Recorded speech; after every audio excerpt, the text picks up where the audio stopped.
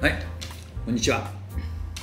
では中塚社長、今日もよろしくお願いします。はい、お願いします。中塚社長に質問が来ています。うん、本当に美味しいコーヒーを飲みたいのですが、うん、コーヒー豆を選ぶポイントか何かあれば、ぜひ教えてください。まあ、コーヒー豆を選ぶポイントっていうのは、まあ、要は焼き豆のことだと思うんですけども、まずね、えーまあ、豆も大きく分離すると、例えばインスタントコーヒーとか缶コーヒーを作る、まあ、材料に、まあ、なるようなあー、まあ、あーロローグレードのコーヒーがあったり、まあ、普通一般的なのはコマーシャルコーヒーっていうんですよね。そのコマーシャルコーヒーでもその国によって、えー豆の種類っていうのがたくさんったりして。で最近はねあのスペシャルティーコーヒーというそのワンランク上のコーヒーがね、まあ、非常に今世界に広がってると。いうことなんで、えーぜひですねまずその自家焙煎のお店で、えースペシャルティーコーヒーを選んでいただくと大体外れないかなと思いますね。どうしてその自家焙煎のお店で選ばないといけないんですか、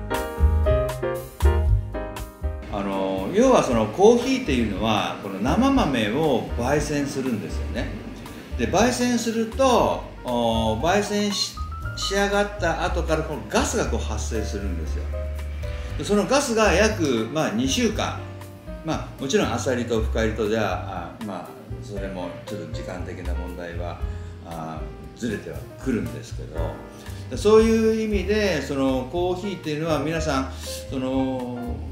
もういつまでたっても飲めるんじゃないかなってあの美味しく飲めるんじゃないかなって勘違いしてると思うんですけどコーヒーはねあの、まあ、肉魚野菜だけじゃなくて立派なコーヒーも生鮮食品なんですよ。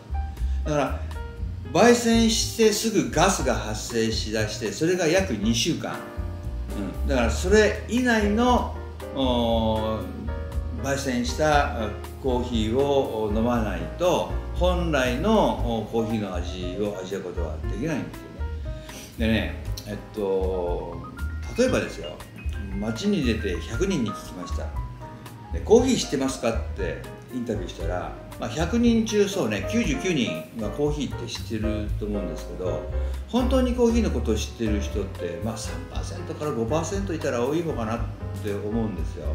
まあ、今今日こうやって、えーまあ、撮影する中でですね、まあ、美味しいコーヒーをっていうんであればあー焼きたて要は焙煎からあー2週間以内のおコーヒーをお10日法で飲む、うんこれがあー私の基準です、はい、どうして鮮度が大事なんですか？あのねコーヒー豆はねこの生豆っていうのをこう焙煎するんですよね。で焙煎するとこうガスが出てくるんですよそのガスが約2週間まあ出続けるんですけどそれが終わると今度はもう劣化状態に入るんですよ。でコーヒーっていうのはまあ生鮮食品なんでその鮮度のある2週間内に、えーまあ、コーヒーの豆をひいてでまずお湯をかけてブルーミングっていう蒸らしを入れるんですよね。そうすると生きてるコーヒーは膨らんできます、で膨らんできたことによってコーヒーの味を引っ張り出す準備がまず整うんですよ。でこれが2週間経つともうこれができなくなる。うん、要はあの膨らみがなくな膨らまなくなってくるんですねということはもう劣化状態に入っているんで本来のコーヒーの味はもう出ません、うん、どうしてその膨らみと本来のコーヒーの味が出るんでしょうか？あのね要はそのまあちょっと専門的な話になりますけども大きくコーヒーの抽出には透過法と浸子法とあるんですよ。でまあ我々はもうコーヒーの焙煎からコーヒーのフィルターペーパー器具を作ってきたあパイオニアだと思ってるんで、まあ、そこでお話しするんですけども要はコーヒーの豆をひきますよね。そうするとお湯をかけるとこのお湯がこのコーヒーの中ってこれ空洞なんですよ。ガスなんですよ。でこの中に入って浸透圧っていうのを起こしてこのコーヒーのエキスのエキス味を引っ張って抽出するのがドリップなんですよね。だけどそのもう劣化したコーヒーはそのもうこの中にもガスがなくなっちゃってるんで浸透圧が起きないんですよ。だから本来の味を抽出することができないっていうのがあまあ理屈っていう